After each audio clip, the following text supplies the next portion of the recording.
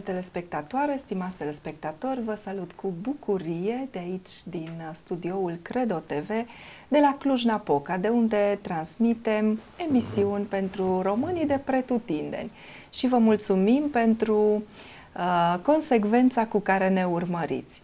Alături de mine în studio se află ca și invitată doamna doctor uh, neurolog Camelia Căpușan din Cluj-Napoca. Uh, deși avem un medic în studio, bine ați venit, doamna doctor Camelia Mulțumesc Căpușan. foarte mult, bine v-am găsit. Uh, nu vom discuta despre viață și sănătate, ci vom vorbi astăzi despre uh, pasiunea dumneavoastră de a studia Cuvântul lui Dumnezeu.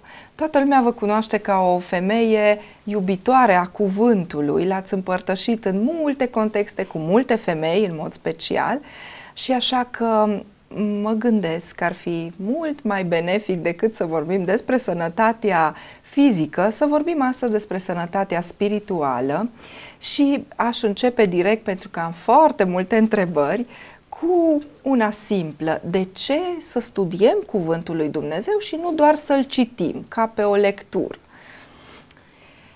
Uh, ziceați uh, că astăzi vom vorbi despre sănătatea spirituală. Uh, ei, eu cred că sănătatea fizică este legată de sănătatea spirituală. Și de ce să studiem cuvântul? Pentru că cuvântul lui Dumnezeu este așa cum scrie în Evanghelia lui Ioan la început, Ioan, evanghelistul Ioan Apostolul, Ioan așa își începe epistola spunând Uh, la început era cuvântul și cuvântul era cu Dumnezeu și cuvântul era Dumnezeu. El era la început cu Dumnezeu. Toate au fost făcute prin El și nimic din ce a fost făcut n-a fost făcut fără El. În El era viața și viața era lumina oamenilor. Și apoi mai încolo cuvântul s-a făcut trup și a locuit printre noi plin de har și adevăr. Uh,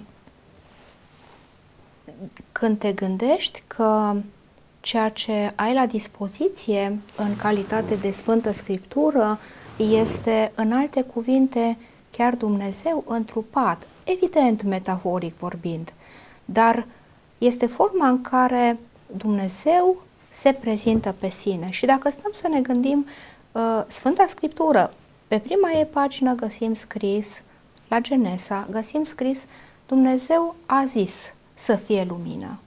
Și a fost lumină. Dumnezeu a zis să fie o întindere între cer și ape. Și a fost o întindere care a fost numită cer și așa mai departe. Adică prin cuvânt au fost create toate. Cuvântul s-a întrupat și astăzi avem acces la el, avem acces la Dumnezeu prin această Sfântă Scriptură. De aceea, de aceea îmi place cuvântul și de aceea merită să ne placă fiecăruia dintre noi. Așa cum spuneați, mulți ar fi curioși să-L vadă pe Dumnezeu și oamenii din toate timpurile au avut această curiozitate. Cei mai deosebiți oameni au avut chiar ocazia să pronunțe această dorință. Arată-ne pe Tatăl și de ajuns sau Moise, Doamne, vreau să te văd. Și totuși noi avem aici pe Dumnezeu cuprins uh-huh. între două coperți și atât de puțin timp ne uităm hmm. cum este el și uh, cum ar trebui să fim noi în raport cu el. Poate că această atitudine, că nu ne uităm așa de des în Sfânta Scriptură, vine și dintr-o mentalitate, uh, dintr-o opinie a unora că doar preoții ar trebui să citească pentru că ei înțeleg și că citirea și interpretarea cuvântului nu e chiar pentru oricine. Care este părerea dumneavoastră în uh, privința aceasta? Uh, acum uh, putem să fim fericiți că din fericire Luther a demontat deja această problemă și Luther a luat scriptura din mâinile clerului care o deținea exclusiv și a pus-o în mâinile mirenilor. A oamenilor obișnuiți, a credincioșilor de orice fel. Asta este pe de o parte. Așa încât, din punct de vedere, uh, mă rog, teoretic, uh, ar avea acces oricine. Uh, dar vedeți că, cu toate că la reformă s-a întâmplat acest lucru, de-a lungul timpului, într-adevăr, a început să se a început și a continuat să se strecoare mentalitatea acum că uh, preotul predică la biserică, păstorul, predicatorul, în sfârșit și acum trebuie că e treaba lor să știe și treaba noastră e dragă să ne facem noi, să ascultăm ce zic ei, să mergem să ascultăm și să împlinim, că numai de-am împlini. Uh, cred că acest lucru se întâmplă și din acest, asta pare bine, pe de o parte. Pe de altă parte, însă, uh, ne-am lipsit noi de hrana de toate zilele. Pentru că exact așa cum în fiecare zi mâncăm de cel puțin trei ori, poate că mai mult decât atât, uh, tot așa Domnul Isus a zis, Isus fiind Fiul lui Dumnezeu, a spus omul nu trăiește numai cu pâine, ci cu orice cuvânt care iasă din gura lui Dumnezeu. Dacă Fiul lui Dumnezeu a zis așa și de fiecare dată când a fost ispitit a răspuns invariabil cu cuvântul lui Dumnezeu, oare noi vom putea să ne descurcăm prin alte mijloace? Nu ne va putea fi de ajuns să mâncăm o dată pe săptămână, presupunând că am mâncat bine. O dată pe săptămână. Nu ne, nu ne va fi de ajuns. Este, cuvântul lui Dumnezeu este pentru fiecare copil al lui. Și dacă ești copil, atunci uh, e normal ca să vorbești cu tata în fiecare zi. Nu e normal să vorbești cu tata o dată pe săptămână și atunci prin intermediar. A, pentru că sunteți femeie, aș vrea să vorbim și despre o mentalitate care s-a găsit de-a lungul anilor între credincioși, și anume că femeia Uh, în mod special, uh, nu trebuie să facă o prioritate din a citi, din a studia cuvântul, ci în mod special ea trebuie să uh, trăiască o evanghelie practică, să își îngrijească familia, să facă de mâncare, curățenie, să fie supusă și asta era evanghelia pentru femei. Uh, ce părere aveți despre uh, această spusă care chiar s-a aplicat foarte multă vreme. Uh, una tot practică. Am o părere tot practică. Cum ai putea să trăiești practic fără să știi teoretic înainte?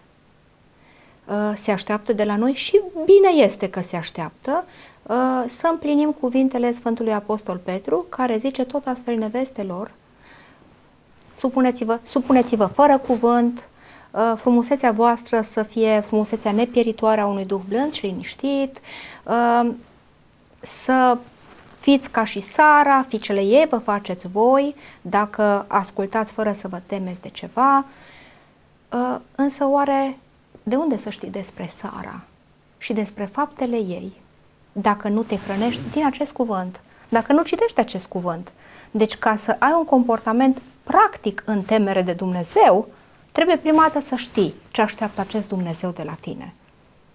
Um, pe de o parte și pe de altă parte, asta cum spuneam, este un considerent practic, imediat, de bun simț. Pe de altă parte, din fericire, Domnul Iisus um, a prevăzut acest lucru și, pe de o parte, El a vestit Evanghelia unor, uh, a vestit Evanghelia multor femei, dacă ne uităm doar la femeia samariteancă, care nu era deloc o femeie de condiție aleasă, nu i-a zis, femeie, cheamă pe al cincilea bărbat al tău sau a cât or fi, ca să-i spun lui ce am de spus și apoi el să-ți spună ție. Ci i-a spus ei ce avea de spus și ea a mai și devenit evanghelistul satului. După care s-au întors o mulțime de oameni la Dumnezeu. Și tot așa au fost multe femei. Ei, dacă Dumnezeu la început a vorbit femeilor, mă întreb de ce n-ar vorbi acum. În plus, dacă mai este nevoie de argumente, în plus Apostolul Pavel zice, între Dumnezeu nu mai se are în vedere fața omului. Nici parte bărbătească, nici parte femeiască, nici iudeu, nici roman, nici grec, nici rob, nici slobod. Și mai mult decât atât, într-o zi, zice Domnul Iisus, vom fi ca îngerii.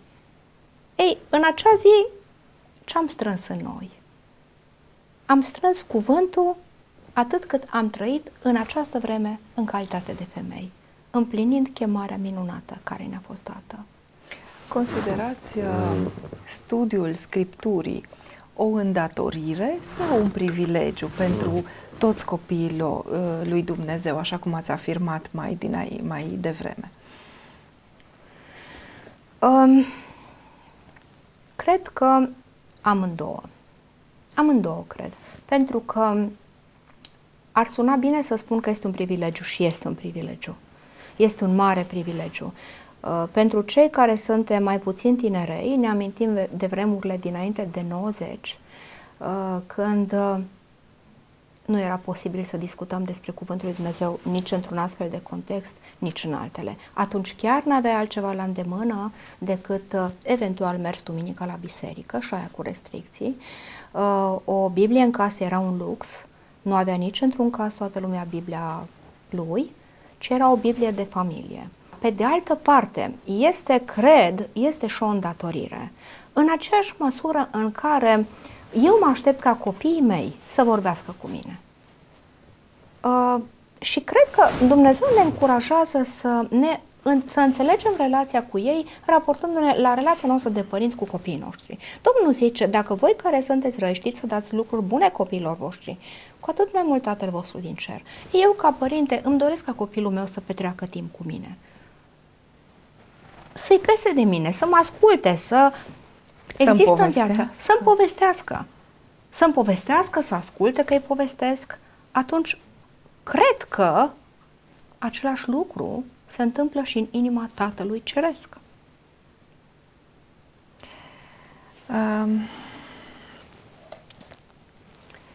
care ar fi uh, niște pași importanți care diferențiază simpla citire de studiu? De studiu aprofundat al Scripturii? Uh, în primul rând, aș vrea să spun că orice apropiere de Scriptură aduce viață. Citirea aduce viață. Pe de altă parte, însă, studiul este altceva. Studiul este o activitate organizată, sistematică, deliberată, uh, prin care ne apropiem de un anume text. Și când spun uh, organizată și sistematică, mă refer la o anumită metodă. Și poate că uh, ar fi potrivită o comparație cu becul dintr-o încăpere, care, pe care le-aș compara cu citirea.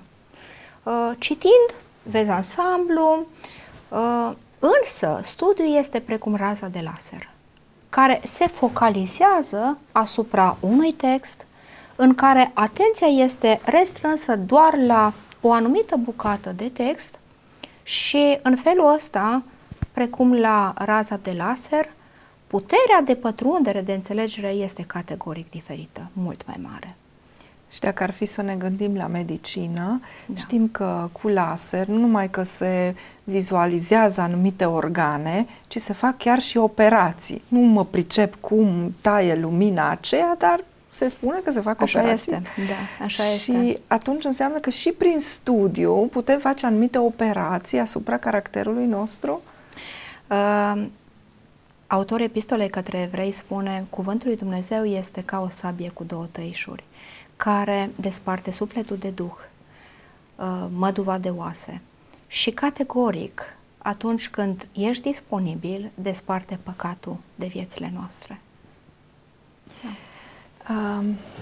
Suntem acum clarificați cu cine are nevoie să studieze, cine are voie și uh, concluzia frumoasă pe care o putem formula este că oricine mm-hmm. trebuie să studieze Sfânta Scriptură, orice copil al lui Dumnezeu. Mm-hmm dar există și un pericol. Pericolul acela care probabil oamenii au dorit să le evite atunci când au zis că doar preoții, doar cei uh, cu licență în teologie ar fi cu bine studii. să studieze și să îi învețe și pe alții. Pericolul, uh, de exemplu, de a apărea erezii, de a apărea învățături greșite, uite, eu am citit așa, zice uh-huh. așa, trebuie făcut așa și să nu fi, lucrurile să nu stea chiar cum am înțeles noi. Cum facem cu riscul acesta? Uh, pericolul este real, evident, de aceea există erezii, pentru că pericolul s-a materializat în prezența lor. Uh, pe de altă parte, nu se poate să renunți la, a, la așa o avere, la așa o comoară, uh, doar pentru că există erezii. Dar există modalități de a limita sau de a desfința, zic eu, pericolul ăsta. Și cred că cel mai important dintre toate este să știm că acest cuvânt al lui Dumnezeu este însuflețit de Duhul lui Dumnezeu. El este cel care ne călăuzește în tot adevărul. Ăsta este cel mai important lucru. Pe de altă parte, uh, există metode care ne pot ajuta, cum spuneam mai repede, studiul este o activitate organizată, sistematică, așa încât există niște jaloane care să ne ajute să ne călăuzească pașii.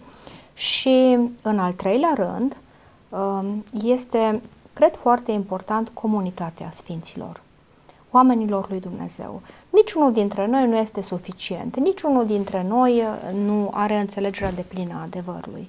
De aceea avem nevoie unii de alții și înțelegerea pe care eu o câștig la un moment dat din Scriptură, îi firesc să o împărtășesc cu alții și să o îmbogățesc, nu doar să o împărtășesc, ci să o îmbogățesc cu cunoașterea pe care ei la rândul lor mi-o împărtășesc.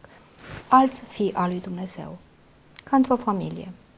Deci nimeni nu deține adevărul absolut. Doar unul singur.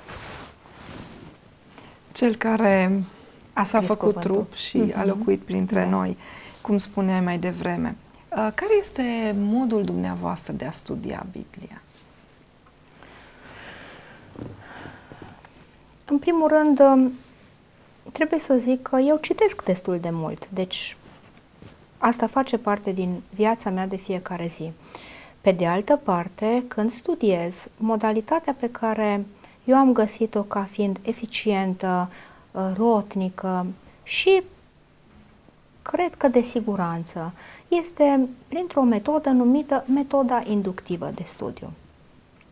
Cam așa studiez.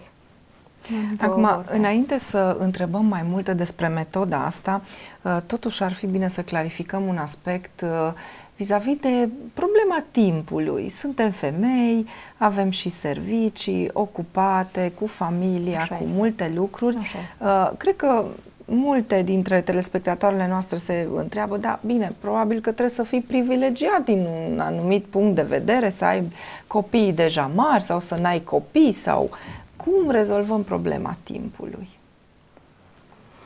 Um, este adevărat că trăim în circunstanțe diferite, în vremuri diferite, în sezoane diferite ale vieții și uh, înțeleg să înțelegem asta și să, sigur, este una când ai copilaș mititei, bebeluș, care îți solicită într-un anumit fel atenție și este alta, este un alt sezon al vieții când copiii sunt mari, e adevărat. Uh, însă, pe de altă parte, Richard Foster zicea în disciplinele spirituale, problema nu este cum să aloci timp unui lucru, studiului în speță. Problema este să consider că este important acest lucru și atunci vei găsi și uh, timp pentru asta. De foarte multe ori mă gândesc, uh, evident, aceeași problemă o am și eu, ca fiecare trăitor pe pământul ăsta. niciodată, adică cred că aș putea să zic că niciodată nu mi-ajunge timpul. Uh, dar mă gândesc că atunci toți trăitorii acestui pământ au tot 24 de ore. Cu toții avem la fel, asta e drept. Și atunci, uh, ceea ce rămâne la latitudinea mea este ce voi pune în aceste 24 de ore și în detrimentul cui. Asta este. Deci cred că un lucru, iarăși Bobby Moore spunea într-o carte devoțională pe care a scris-o, uh, puneți la inimă viața devoțională și studierea cuvântului și atunci nu va mai fi o problemă să-ți pui deoparte timp pentru asta. Dacă ne amintim de prima carte, uh, aș zice eu cea mai popularizată pentru femeile creștine, cartea Lindei Dilău, uh-huh. Partenera Creativă, carte care cu 30 de ani în urmă se scria la Indigo, da, atunci în vremurile care le-ați amintit și nu, nu era ușor să ai o carte creștină în mână. Uh, era un capitol care se referea la prioritizarea vieții. Uh-huh. Și uh, fiind o carte pentru femei, găsim acolo totuși că prima noastră prioritate este Dumnezeu, nu soțul, nu copiii, nu serviciu, nu uh, slujbele de la biserică, ci a ne umple cu cuvântul lui, cu prezența lui și cu siguranță uh, dacă conștientizăm această ordine a priorităților, uh, ne vom face timp pentru... Da. Și chiar sublinia Linda Dilou în cartea ei că poate uneori trebuie să te trezești de dimineață, poate alteori trebuie să te culci târziu, dar uh, nu trebuie lăsată la o parte această preocupare care de fapt uh, ne încarcă să putem duce toate celelalte Exact cum spuneați mai devreme, acea slujire practică de care familiile noastre au nevoie, uh, aici își găsește resursele. Și face sens din oricare punct de vedere am luat-o. Până la urmă, da, este adevărat, femeia a fost creată pentru bărbat. Eva a fost creată pentru Adam. Dar prima ființă pe care a văzut-o Eva n-a fost Adam, a fost Dumnezeu. Și cum tot așa, prima ființă pe care Adam a văzut-o a fost Dumnezeu. El este din el avem viața și ființa cu toții, femei sau bărbați. Nu putem fără el. Sau fără el trăim vieți neîmplinite și șchiopătate.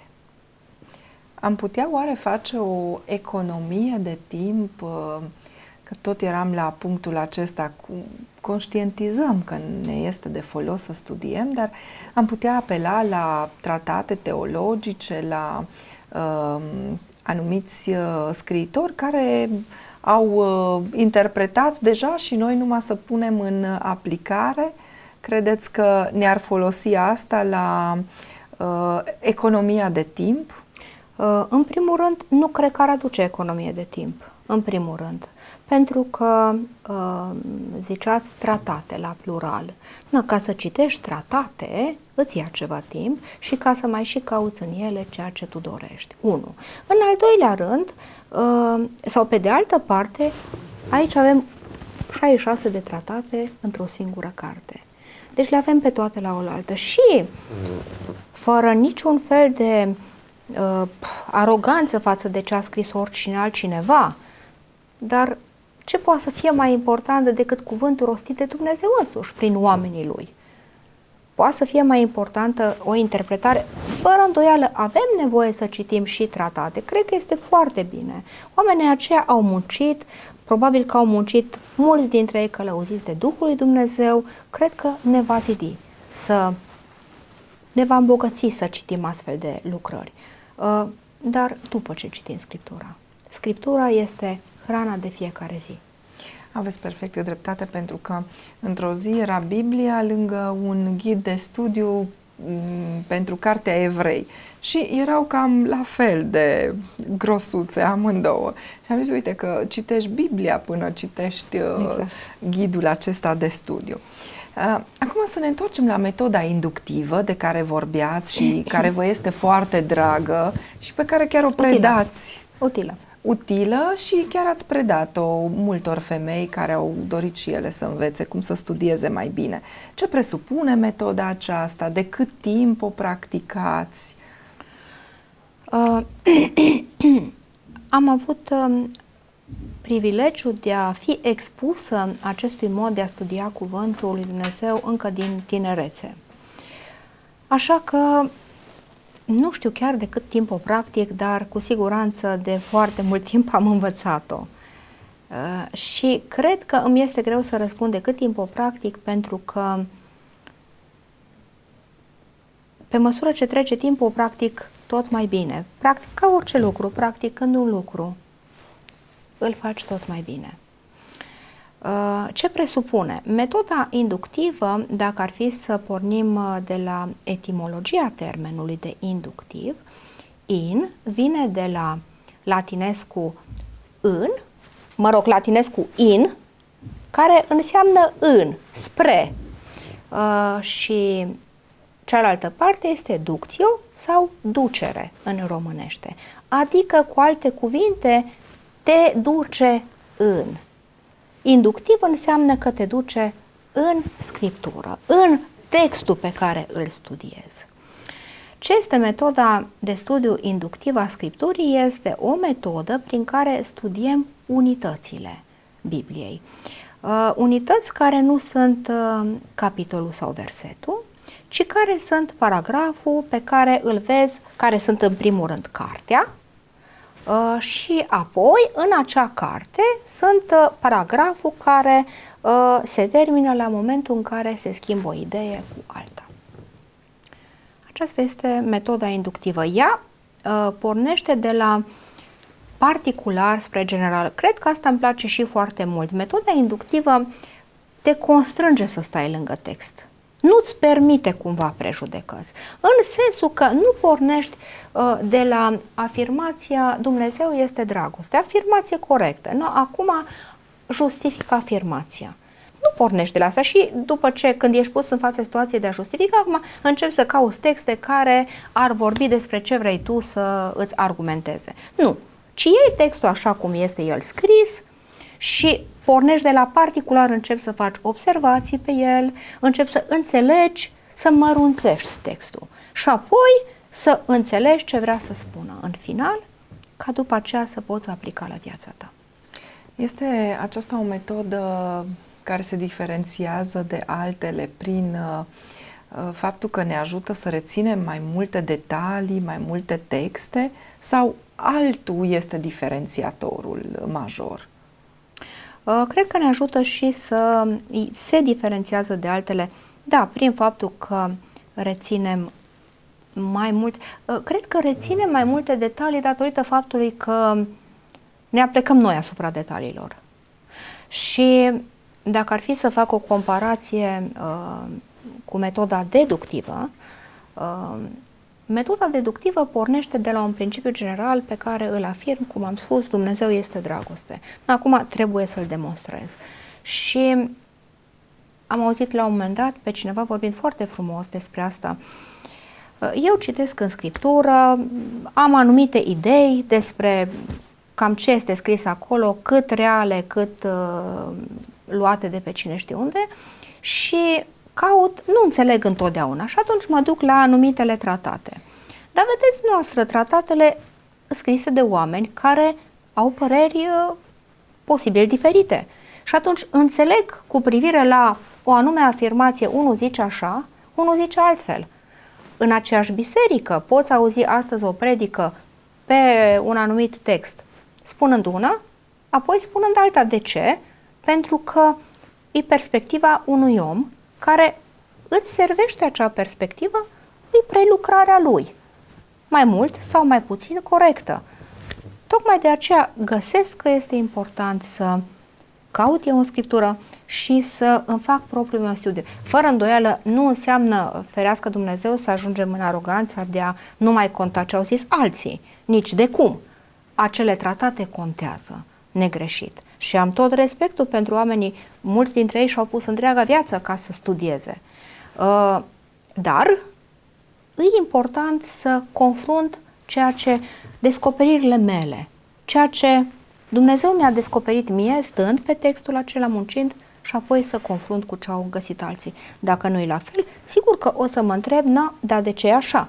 Și să vedem ce mi-a scăpat mie sau unde este dezacordul. Cum, uh, cum se desfășoară metoda de studiu biblic inductiv?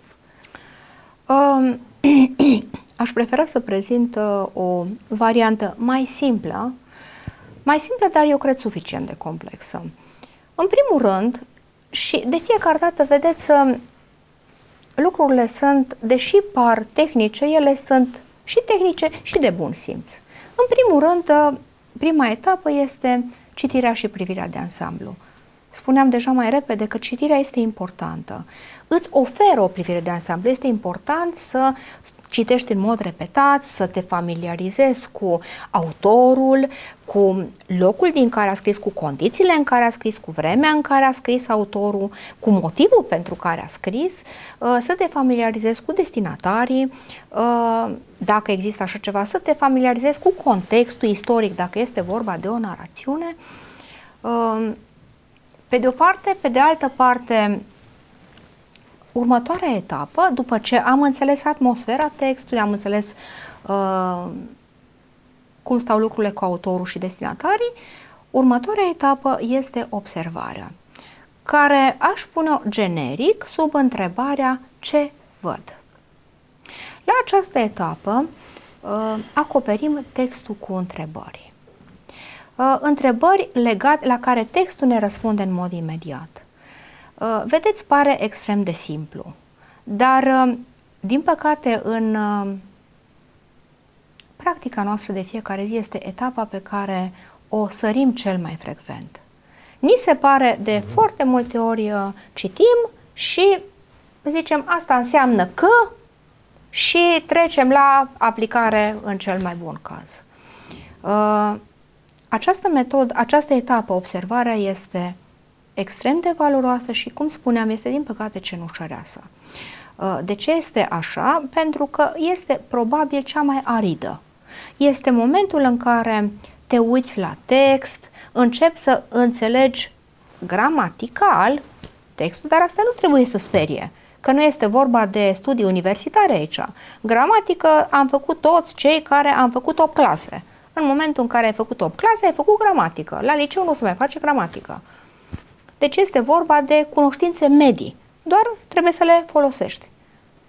Și nu este tot una... Dau un exemplu.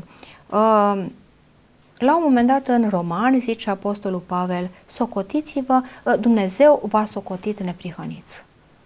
Dar ce înseamnă asta? Înseamnă că asupra mea s-a făcut o acțiune independentă de mine.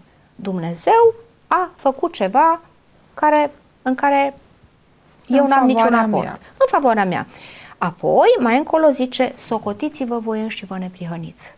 Aha, deci de data asta altceva. Este același cuvânt folosit într-un mod diferit, care îți spune altceva. De data asta este ceva ce eu trebuie să fac asupra mea însămi.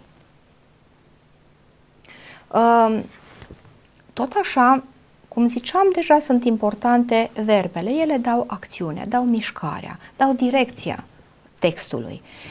Sunt importante, este important subiectul, sunt importante cuvintele de legătură. Cuvintele de legătură sunt ca și, deși cine să le acorde importanță la și și dacă și pentru că dar. și dar, întrucât, cu toate astea, ele sunt tot așa, ele sunt cele care leagă într-o formă sau în alta, care dau curgerea textului. Când înțeleg, când văd la un moment dat scris așadar, voi faceți așa. Înțeleg că este un fel de concluzie care mi-atrage atenția la a mă uita la textul anterior. Da? Fără să înțeleg textul anterior, nu mă apuc să înțeleg tot așa, a, așadar cum. Sau Uh, cum scrie în 1 Petru 3, tot astfel, nevestelor, fiți supuse bărbaților voștri și așa mai departe. Tot astfel cum? Când, când, când găsim cuvintele astea tot astfel, așadar, e ca și cum ne-ar trimite la o lege și noi avem numai normele de aplicare. Așa dar este. Trebuie să mhm. știm uh-huh. Uh, legea în sine. Legea uh-huh. în sine. Da. Uh, după ce Trecem de etapa asta, deci în cursul acestei etape a observării uh, strângem o mulțime de observații și să fiți convinsă că de câte ori, și știu că știți asta pentru că practicați, faceți studiu biblic inductiv, uh, de foarte multe ori observi lucruri pe care nu le-ai observat înainte. Ți se pare, ai citit textul ăla probabil de 10, poate de 20 de ori și n-ai băgat de seamă un lucru. Uh, după aceea, următoarea etapă, observațiile pe care le-am strâns le însumăm într-un rezumat. Uh, următoarea etapă este interpretarea, care, iarăși generic, dacă am spune, stă sub întrebarea ce înseamnă. Aici, la, la rezumat, uh, deoarece ține de faza de observare, din câte mi-amintesc eu și aș vrea să subliniem pentru cei care n-au parte de curs de metodă, uh-huh. dar poate că vor să practice de mâine, rezumatul se va referi doar la ce am văzut în text, exact, adică la personaje, la... Nu spunem în rezumat ceva despre noi, că uh-huh. eu ar trebui uh-huh. să mă consider neprihănită, nu, ci romanii trebuiau să se corect. considere. Dacă ne uităm la exemplu care l-ați uh-huh. dat adineauri. Așa este. Uh, vorbim în termen de ei atunci și acolo. Am vrut numai să uh-huh. subliniem asta, pentru este ca să nu bine. se contopiască cele uh-huh. două etape și pe urmă... Cum o și cam facem de obicei.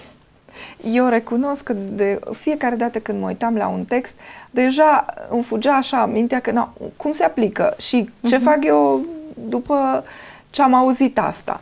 Dar poate că e superficială concluzia care o trag dacă nu fac observarea cum uh, ați prezentat. Observarea este piatra de temelie pe care îți construiești uh, uh, și vedeți, la metoda asta, cumva fiecare etapă uh, se construiește pe cea dinaintea ei.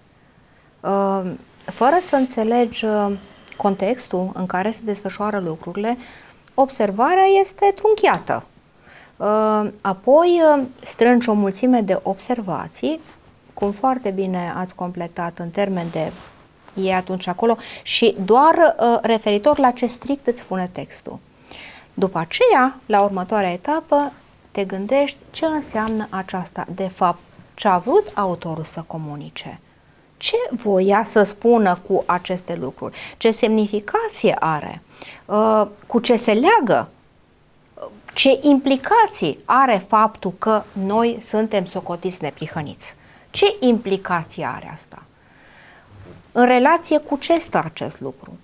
Și îți formulez la acest moment, după ce ne însumăm uh, înțelegerea observațiilor prin interpretare, formulăm ideea exegetică. Ce este ideea exegetică?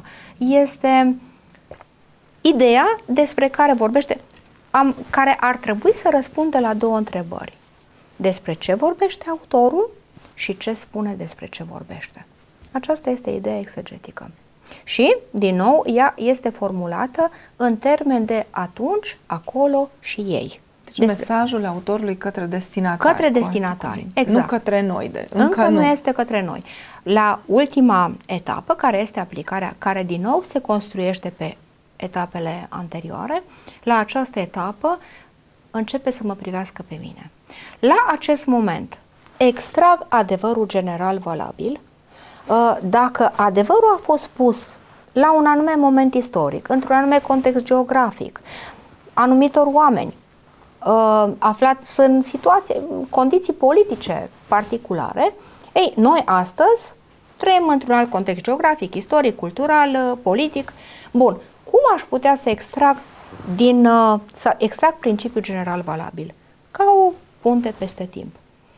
Ei, ăsta este primul pas al aplicării, extract principiul general valabil, acea afirmație care uh, însumează un adevăr valabil pentru orice generație, uh, în orice context geografic. După care, așa cum uh, fac de-a lungul întregii metode, pun întrebări. Uh, asta este una din caracteristicile metodei, foarte important, să pui întrebări. Să nu dai răspunsuri, și cred că, iarăși, aici este o diferență între felul în care noi zicem că studiem de obicei și metoda inductivă. Metoda inductivă înseamnă să pui întrebări.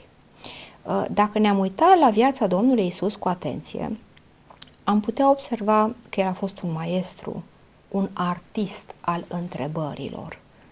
Domnul Isus a răspuns, a pus mult mai multe întrebări decât cele la care a răspuns.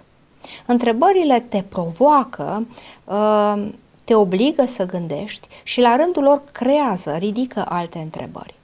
Uh, cu aceste întrebări, cum am zis, parcurgem întreaga metodă de studiu Dacă la început ne întrebăm în ce context au trăit autorul, destinatarul, uh, cine era la conducerea Imperiului Roman, spre exemplu, sau a Palestinei, sau în sfârșit, depinde de ce carte studiem, după aceea, și ne punem întrebări cu privire la fiecare segment care ne interesează, după aceea punem întrebări de observare legate de ce vedem, unde au fost, uh, ce făceau, cine era acolo.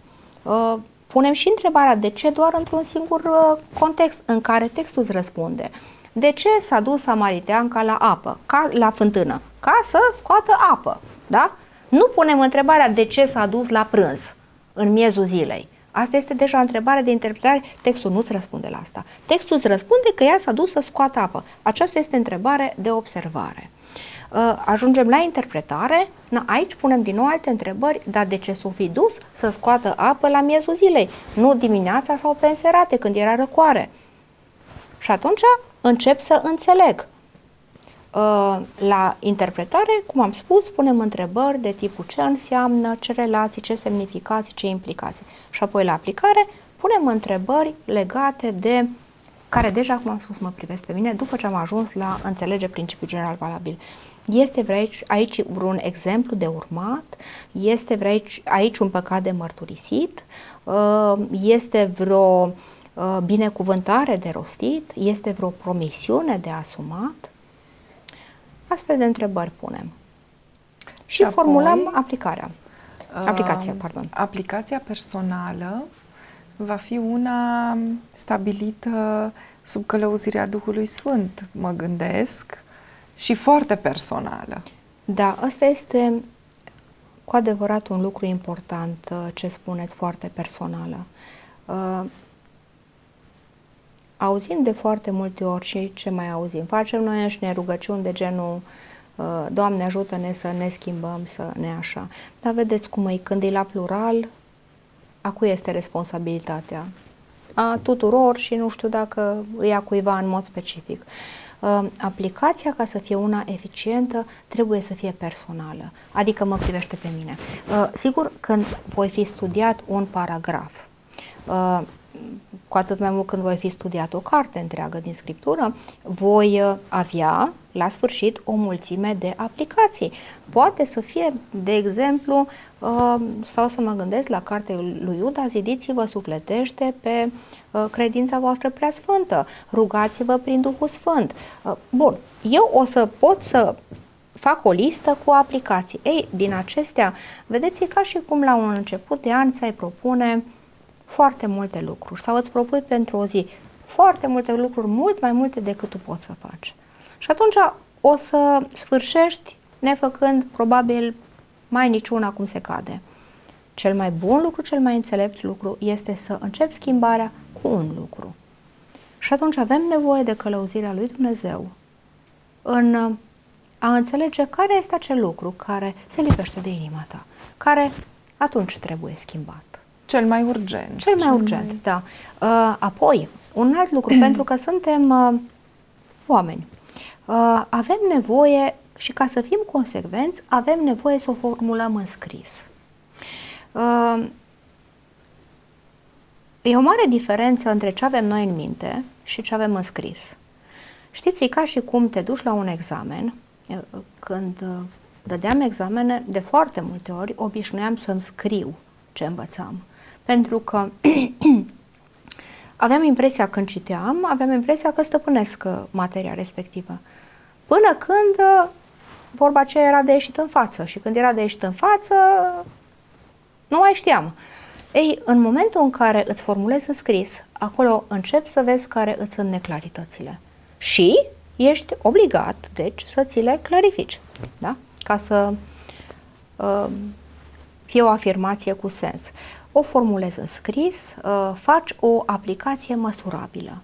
Adică nu la modul uh, aș vrea să-mi pun la punct relațiile cu biserica, cu oamenii, cu vecinii, ci în biserică am o persoană cu care, ce știu, poate nu mă înțeleg bine.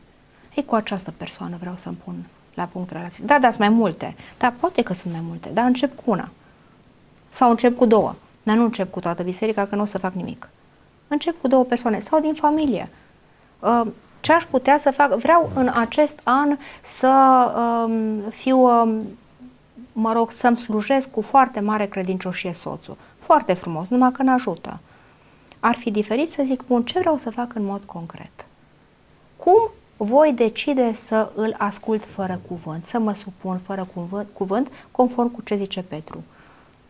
Păi, îmi propun de câte ori avem o discuție în contradictoriu, care de obicei dă naștere la certuri, atunci, la acel moment, să zic, fără cuvânt. Da? Și la sfârșitul zilei să fac socotele, să trag linie și să mă evaluez. Uh, este important de asemenea să împărtășesc aplicația cu cineva și să dau socoteală. Pentru că foarte ușor ne pierdem. Intențiile bune sunt bune, dar ușor se risipesc. Uh, obiectivele acestea care rezultă în urma aplicării metodei sunt uh, foarte smart, uh-huh. adică specifice, uh-huh. tangibile, măsurabile și de aceea cred că și trebuie evaluate. Exact. Uh, noi singuri, dar cred că mai eficient împreună cu cineva să exact.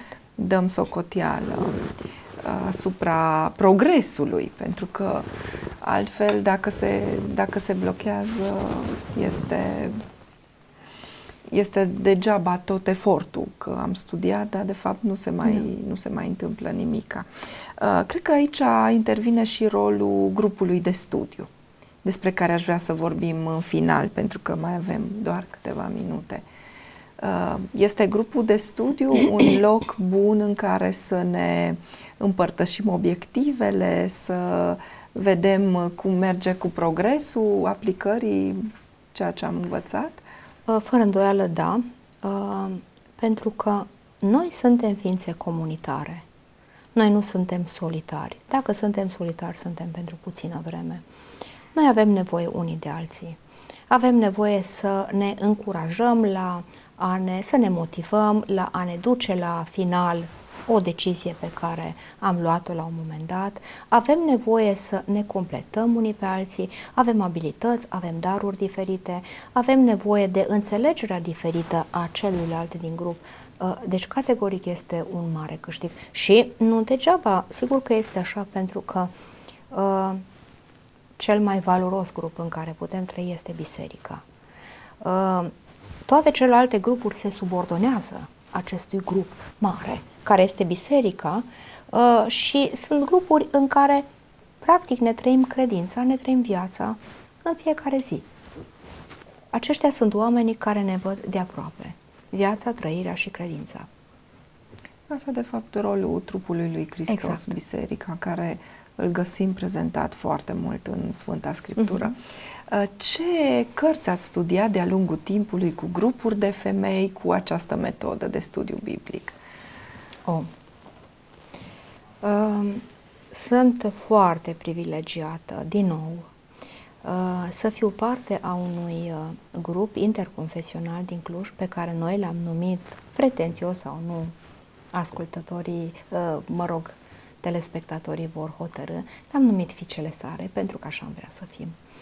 Uh, și acest grup este un uh, grup interconfesional, femei din diferite biserici ale Clujului și din afara lui, din Bistrița, din Zalău, din Gherla, din Turda, din... Uh, și în acest grup am studiat foarte multe cărți, cărți ale Scripturii. Am început uh, cu, cred, 11 ani în urmă, să ne întâlnim și am început uh, studiind uh, niște cărți scrise de altcineva. Prima carte pe care am studiat-o a fost Cultivă-ți viziunea de Andy Sandley și a fost foarte bine. Uh, dar după aceea încet, încet am zis, stai un pic, că e foarte bine să citim ce au scris alții, dar asta putem să citim și fiecare. Uh, și este bine să citim. Dar hai să studiem împreună Scriptura. Și de atunci încoace am studiat foarte multe cărți. Acum, cred că m-ați luat pe nepregătite, n-am o listă, dar am studiat multe. Uh, am studiat uh, Evanghelia lui Ioan, am studiat Romani, am studiat Efeseni, am studiat 1 și 2 Petru, am studiat Estera și Rut, am studiat Ezechiel, am studiat Apocalipsa, uh, am studiat Evrei.